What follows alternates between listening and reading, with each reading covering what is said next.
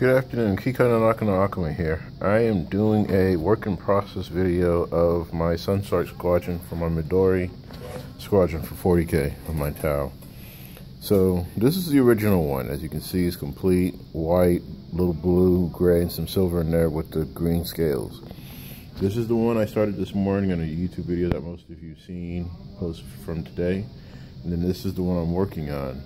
I'm doing something different because I wanted to see a different color effect and the fact that um, I got the model used, washed it, cleaned it, hit everything with Goo Gone to min water, mineral water trying to get the gunk out, but the primer won't stick. So I put three coats of primer on, two black, one green, and so far the green's not coming up. So I'm going to do this effect in a different fashion. So it's going to be across the board. You may have seen it on my tank that I don't have out right now, but I want you guys to enjoy the video, and I'll give you up-to-date step-by-step progress of this project. This won't be done today. This one might not get done before I leave work.